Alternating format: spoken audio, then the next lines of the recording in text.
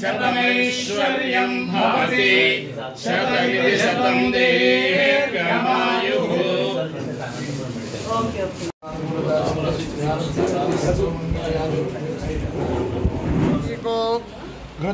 निरेधि घृतं पीत्वा मधुचारुकव्यं पितेव पुत्र।